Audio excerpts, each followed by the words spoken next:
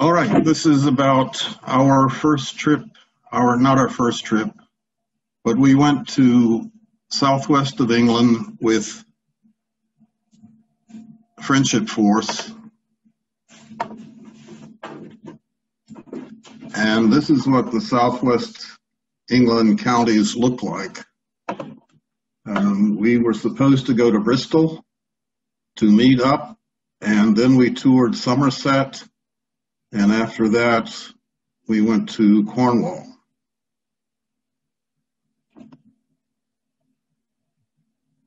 It was, we had to figure out how to get to Bristol, and we bypassed London by flying to Amsterdam and then taking a hopper flight over to Bristol.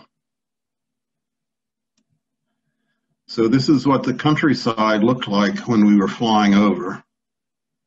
Lots of farm.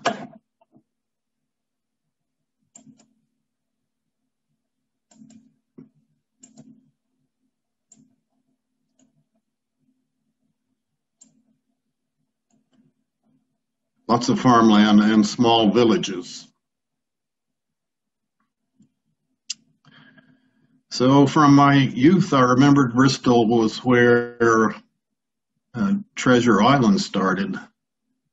But what I didn't know was that Bristol is a thriving center for producing TV series, including Poldark and Sherlock Holmes, the version with uh, Benedict Cumberbatch. Um, Masterpiece does some filming here and ITV has studios here.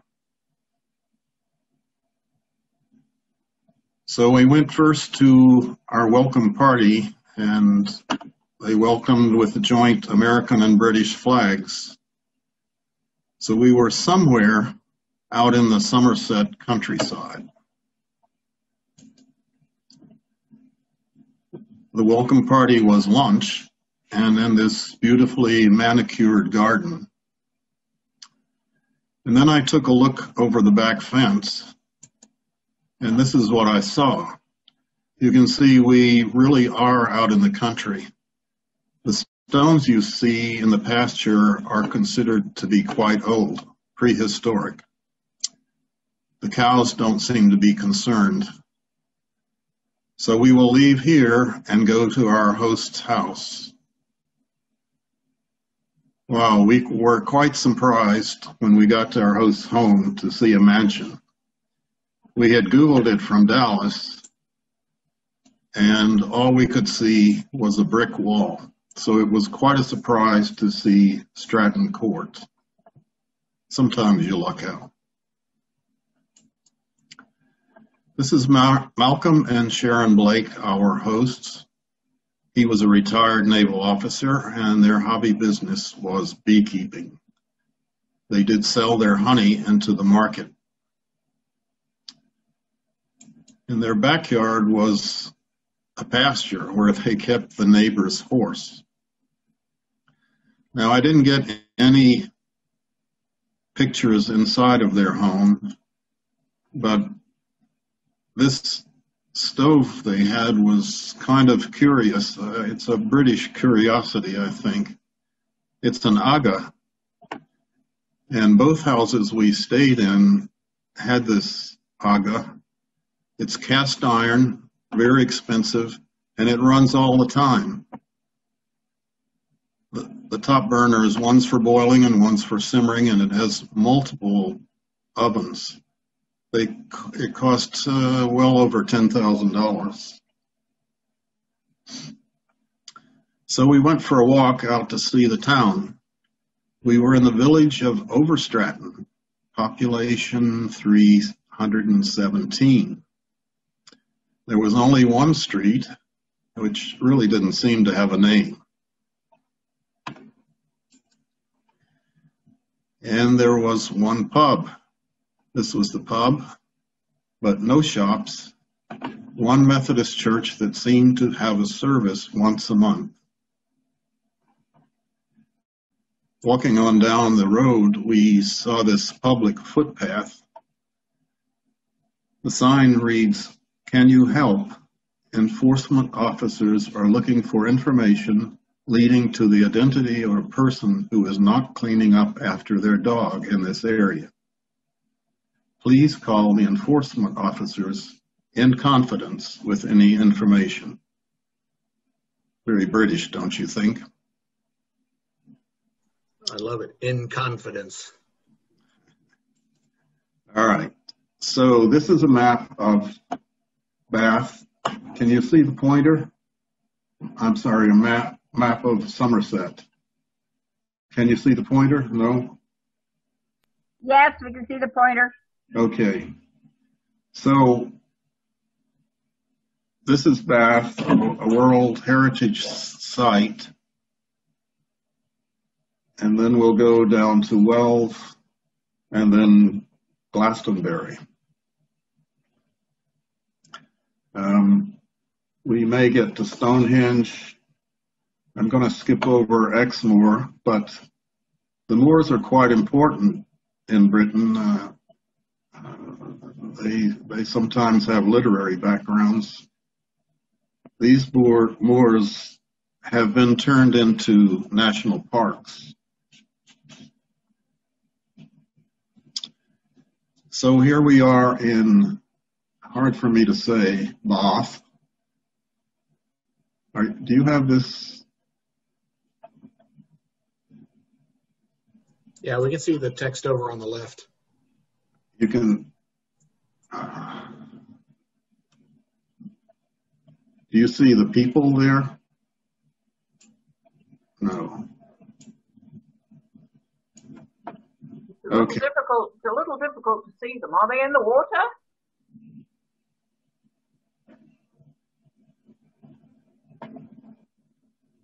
Trying to get it off my screen. Yeah, okay. You mean up on the bridge? No, no. Oh, All right. that the river has meningitis, All right. so nobody uses the bath because because it has meningitis. You see that? Yeah. That's not the right screen. Oh.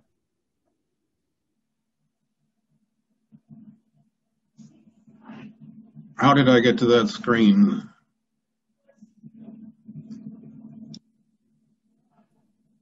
Still a great picture.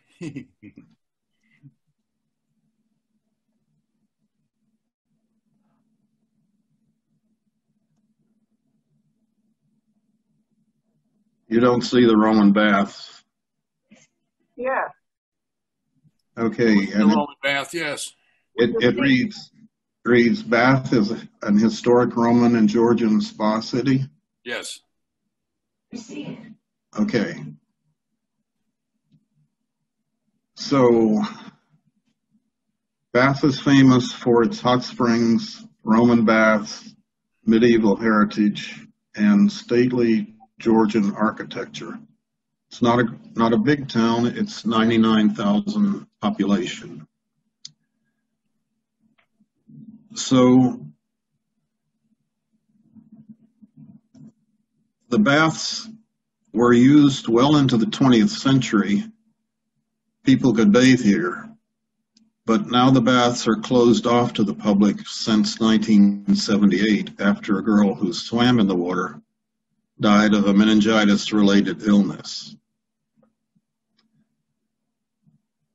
So, not to worry, there are other places you can go into the thermal baths. Yes, it's been cleaned up a bit. I'm not sure it has the same curative properties. So, what's Georgian architecture? Well, it's symmetrical design, classic proportions, decorative elements from Greek and Roman architecture. Why is it Georgian? Well, it was built in the time of the reigns of England's King Georges. England had four King Georges in the 1700s and 1800s. And this is where the name Georgian comes from. Could be simple, but very symmetrical. The Royal Crescent is the most famous structure in Bath, or hmm, it was designed by John Wood the Younger. It is a series of townhouses. The city reflects the ambitions of his father, John Wood, and, and the son, and they set out to make Bath into one of the most beautiful cities in Europe, with architecture and landscape combined in harmony.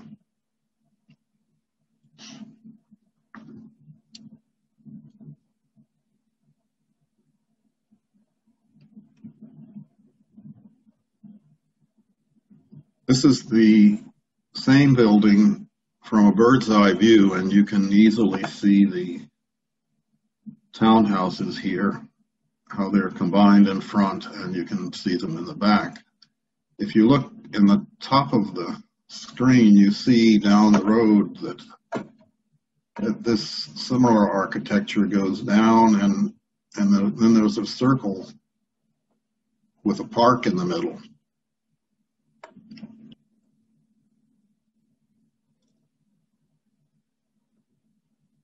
So they, John Wood and his son set out to lay the city out in quarters and streets and squares with identical facades, which gave the impression of scale and, and classical design. This is Pulteney Bridge over the Avon River, built in 1774. You can find shops and cafes and restaurants inside. Um, if you're confused, there are several Avon rivers in England, four or five to be exact. Actually, Avon comes from the Welsh word for river. So it's river, river. Near the center of Bath is the Jane Austen Center where you can have tea and look at books And they have parks. This is Palladium architecture. Julia noticed this pillar box and uh, was asking her hosts if that was pretty old. And yes, it's it's hexagonal. And I looked it up, and it comes from the Elizabethan times. Our host had never noticed it before.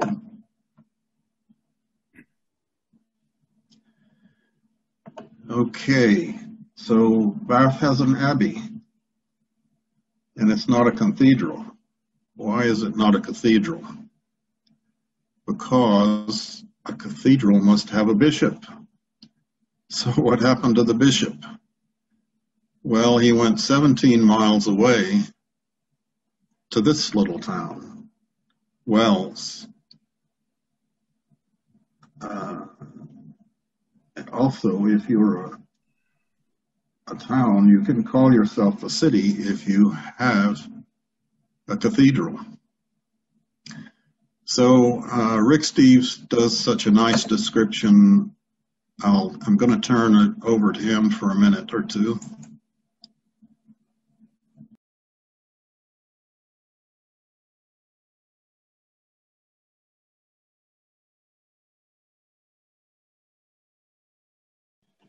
So that was the Wells Cathedral. And did I mention the bishop has a palace there? That might be uh, him out there playing croquet. Not sure. So now you know why the bishop went to Wells.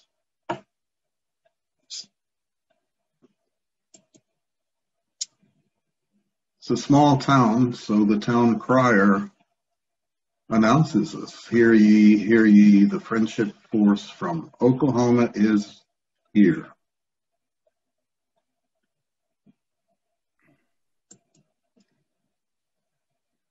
This is downtown with shops. It was drizzling a little that day, but it was also market day. And here our host is bargaining for our supper.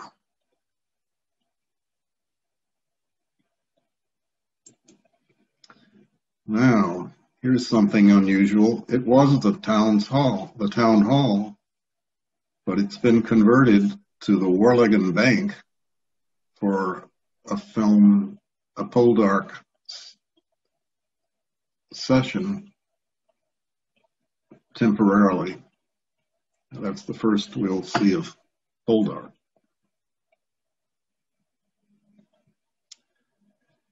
Not far away is Glastonbury Abbey,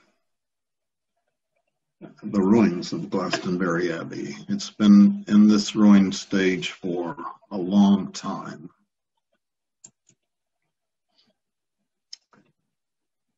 So the abbey was the second wealthiest abbey in Britain behind Westminster Abbey in 1536 during the 27th year of Henry VIII. There were over 800 monasteries. By 1541, there were none. He wanted the wealth they, they had accumulated.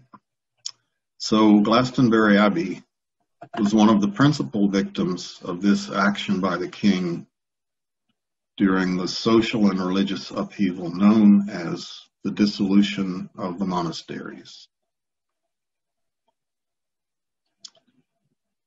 Yes, here this wench is telling us the story of the abbey. And the friar on the left is one of our hosts.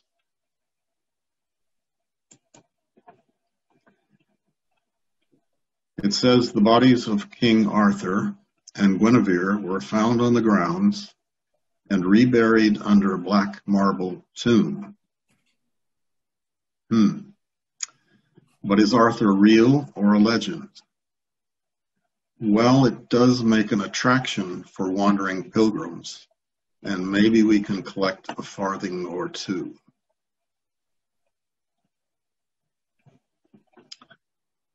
Nearby is Glastonbury Tor, a pastoral view. Glastonbury Tor has a long history extending into Arthurian legends, but it was here that the abbot of Glastonbury and his compatriots were hanged. We climbed the hill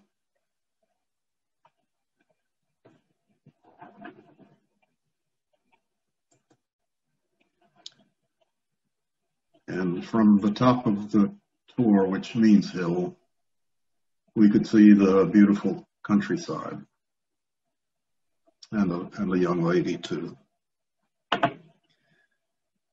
So that was the important part of our Somerset tour. I've had to cut out some to make it fit into 35, 40 minutes. Now we will visit Stonehenge for our farewell party. Hmm. A few Wiccans or Druids, perhaps. Or maybe they're just celebrating the solstice. Well, actually, you can't get that close. This is the limit. Unless you buy a very expensive ticket to go in among the stones.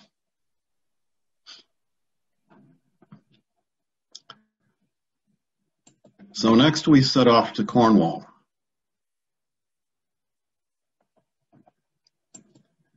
But we didn't go by horse.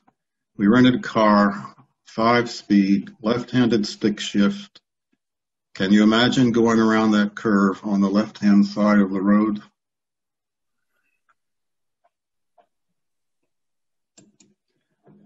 Okay, here is a map of Cornwall, and it's actually the walking trails. Uh, Truro is down in the center here, and that's where we're headed. But this tells you where all the walking trails are. This one goes to St. Ives. As I was going to St. Ives, I met a man with seven wives. Every wife had seven sacks. Every sack had seven cats. Every cat had seven kits. Kits, cats, sacks, wives. How many were going to St. Ives? Well, just me. Going in the other direction is a is a good puzzle to to calculate how many. Okay, we get to Truro, and we stayed with these two people, Derek and Mary Painter. They we had previously known them from Richardson, and uh, he was in the oil business and, and went off to the Mid East to make his fortune. So this is their home.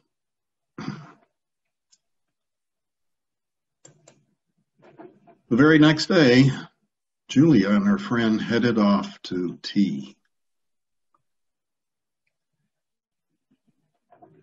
Now, they have rules in the tea house. Turn off your mobile phone. And if you can't get in the tea house, you can't afford to get in the tea house, well, just find a bench somewhere. So meanwhile, I went in the other direction. I went off to explore the Cornwall mining.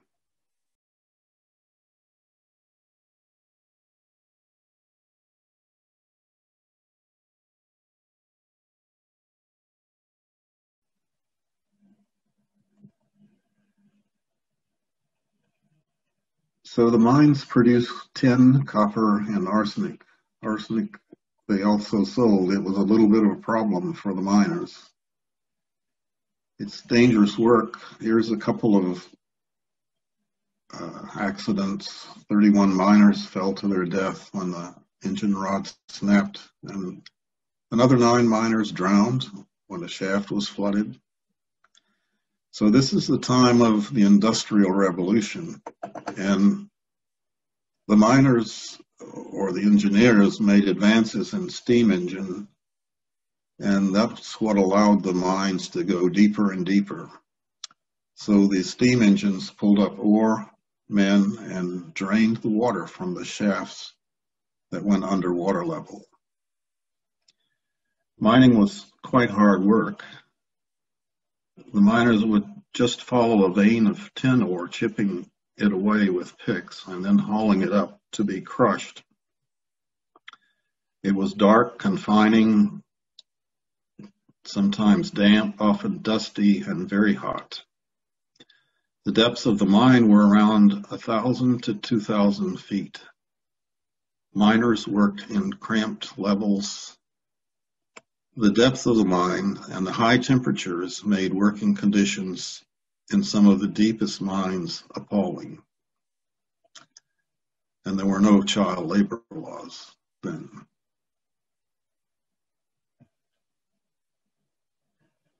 So eventually globalization put the Cornish mines out of business. They weren't as profitable as mines elsewhere. However, the Cornish miners, with their experience and their technology, spread around the world to these other places. And uh, so there was religion for the miners.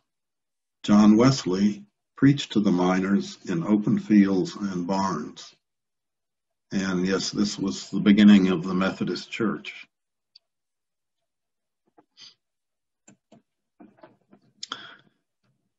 Wheal Owles Mine is the site for Poldark's mine. Got a nice view on the ocean. They dressed it up for filming with some wooden structures. I'm not sure if he had, a, steam engine, but that's what the smokestack indicates. Uh, but there was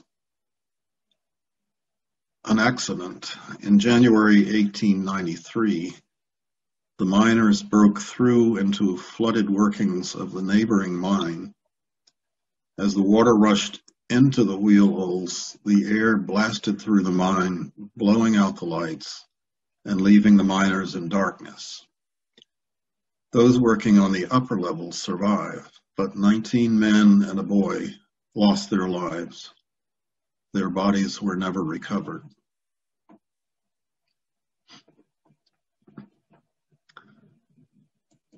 So we took a couple of trips. We went down the river from Truro to St. Mawes, which is on the south shore. And it's a quaint little town, and I'll show you a couple of pictures.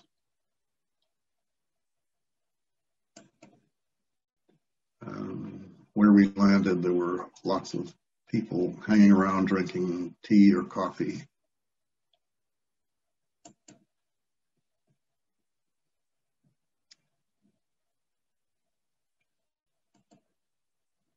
Then we set out for the North Shore and we stopped in this pub and it looked so authentic we decided to leave the picture in here. Rugged North Shore looks something like this where the sea has carved out little beaches but for the most part the rocky shore resists the water. So you can see a mine just about halfway up and we'll take a walk up to that line. So that's our host walking in front of us. Um, the heather was quite beautiful. Now, can you imagine Poldark riding along this shore on his horse?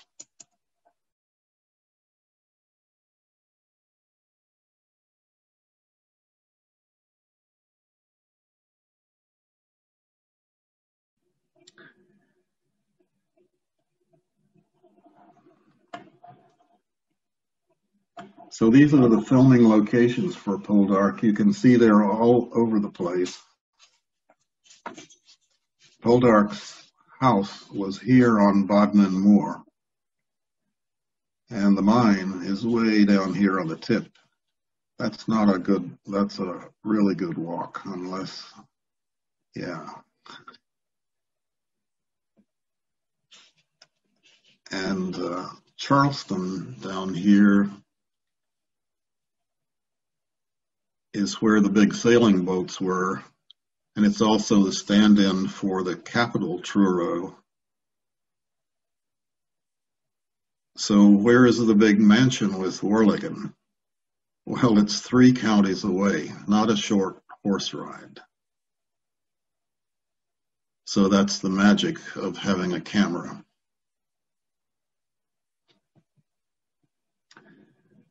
So yes, there's some other things filmed there. This is Doc Martin's place. This is uh,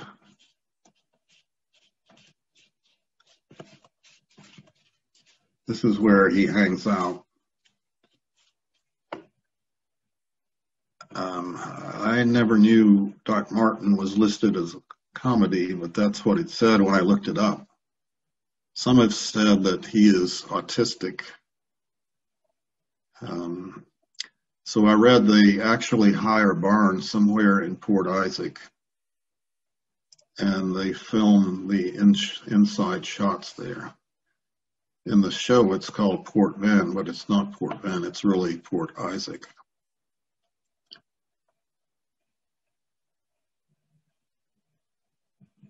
Another curious thing is I don't know if you've read any of the novels by Rosamund Pilcher, but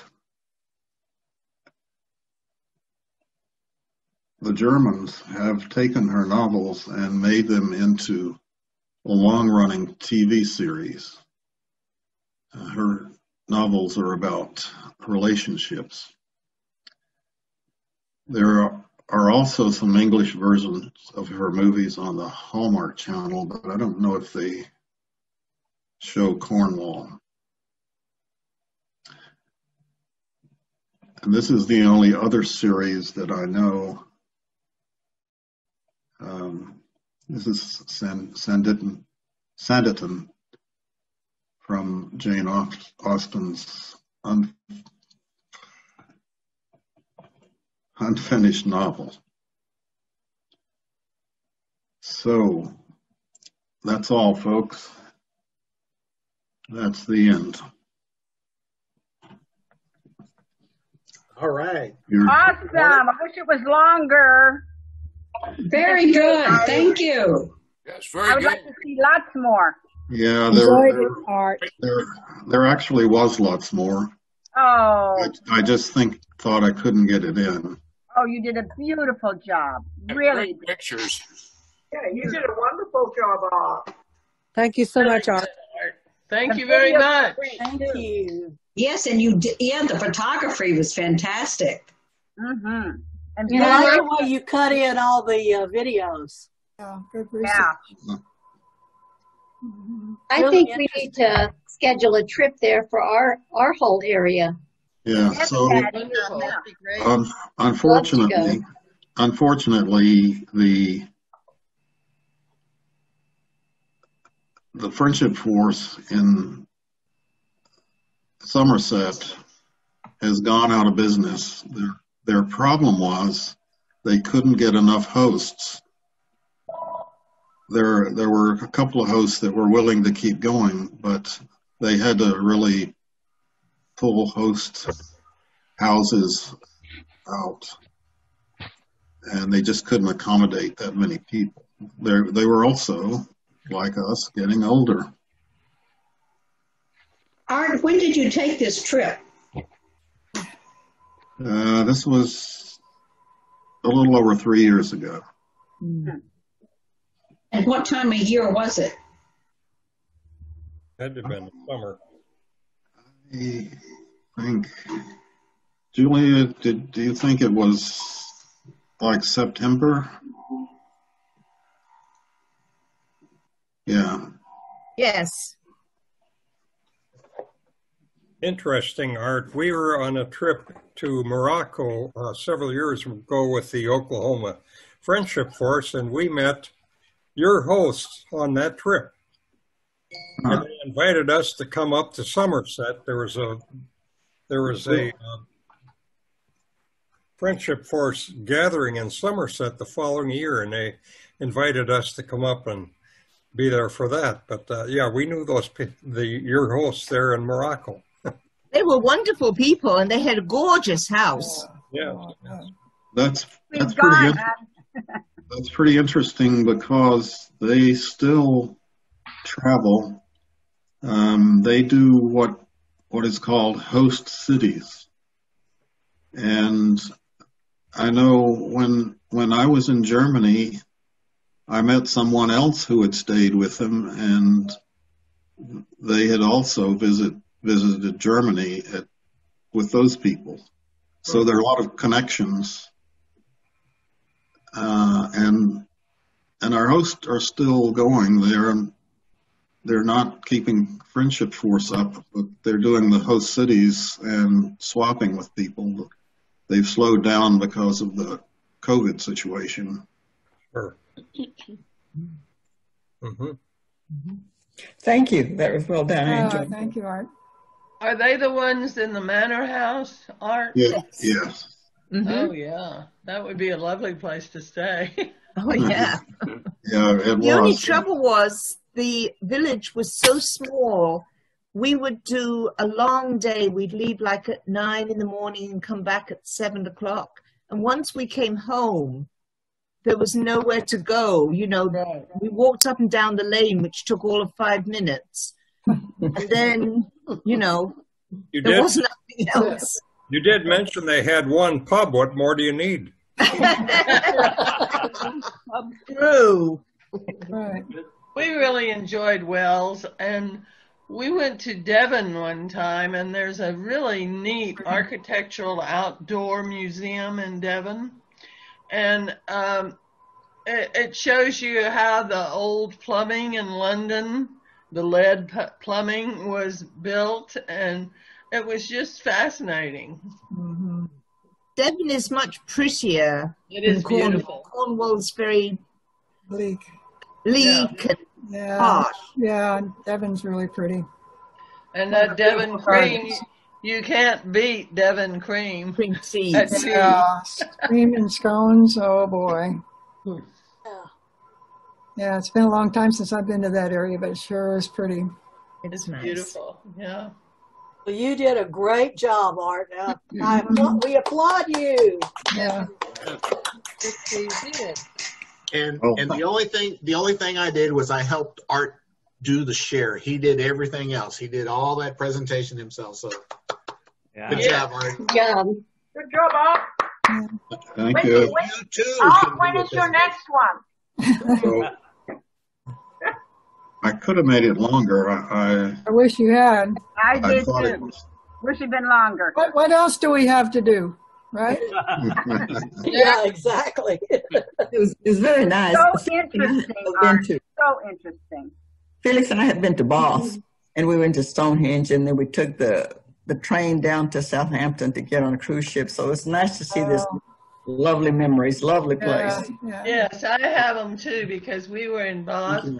and we had lunch in the uh, restaurant there in Bath, and it's fascinating. You know, mm-hmm. it's so old, and it was good. Really pretty town. How was the food, Art? How was the food? The food was excellent. It's a, a huge restaurant. oh, we were fed very well. Meat Mm-hmm. and potatoes or what? Different things. Different. But the people that we stayed with in Cornwall, I met them 40 years ago and they lived in Richardson and I kept in touch. Oh, wow. I visit them when I go back home. And I was going to visit them one time and I said, I want to come and see you for the weekend. And they said, You can come, but we're in Dubai. So I oh. went to visit them in Dubai instead. Oh, Well, folks, by the end of this, we ended up with 30 people, which is actually more than we usually have at the library.